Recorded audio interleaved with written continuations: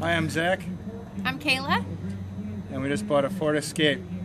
Uh, we've been looking for approximately three months or so, and we came out with a great deal here at uh, Upland Ford.